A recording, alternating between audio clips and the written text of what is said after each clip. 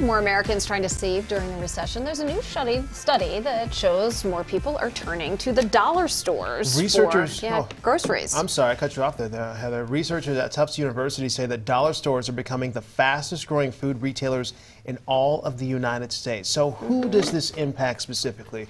You're thinking about households headed by persons of color, uh, also rural areas, and persons that have lower income. It's impacting them the most, according to this study. Right. In some cases, anywhere between five and percent, five and ten percent of the groceries that they buy, five to ten percent of their food budget Mm-hmm. is happening at dollar stores. And you can, Eh, you know, if you've been to a dollar store, we, we go there a lot. We, We do you know, too. we and we, you know, we use them for toys and party favors and all that stuff. But you'll notice it's not fruits and vegetables Right. there. Those are mm-hmm. quite limited in a lot of them. But it's a lot of prepackaged goods that have fewer nutrients, have higher calories. So mm-hmm. researchers are saying, look, this is it's not a huge amount, just five to ten percent, but it's the fastest growing amount. Right. So we need to look at this and pay attention. You think about areas that have a food desert, right? That mm-hmm. do not have, uh, you know, Rural they don't have a areas, yeah, rural right? areas exactly that do not have a grocery store. Mm-hmm. Uh, you know, a lot of times.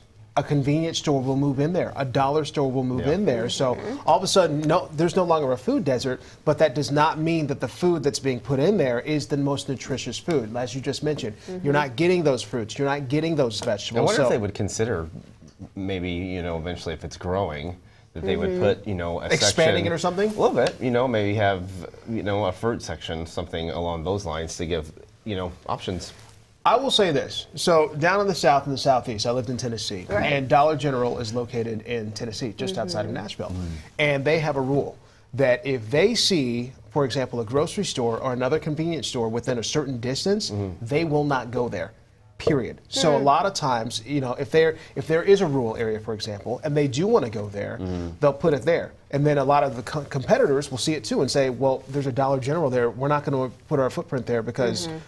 we're going to be competing with them." Right. So if they're going to be putting in those stores, for mm-hmm. example, all of a sudden that knocks out your ability to get some of the more nutritious food that you would typically see in a grocery store. Right. And that's one of the arguments also against some of these dollar stores. So, you know, we've heard this argument before with, with Walmarts mm-hmm. and, and mm-hmm. Targets and that too. But Riley, I think it's, you know, it's a good question because dollar stores certainly have changed what they offer, but fruits and vegetables and some of that healthy food is just so much more expensive now. So That to be able to it's very expensive. bring it to the dollar store. I don't know how that business model works, um, but what I thought was interesting about this research was the researchers actually took to the road. They took to the road in the rural South, down in Alabama. They took to the road in the rural um, areas of New York, New York. State.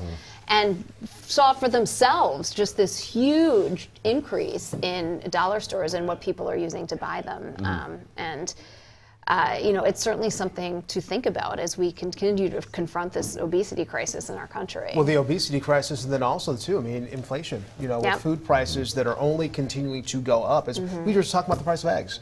You Yeah, know, and you know, right. it's so hard to be able to afford those things. So mm-hmm. a lot of people may, a lot of people, more people may be, you know, going to options that are not as healthy, mm-hmm. but it's also cheaper at the same Yeah, time. right. yeah.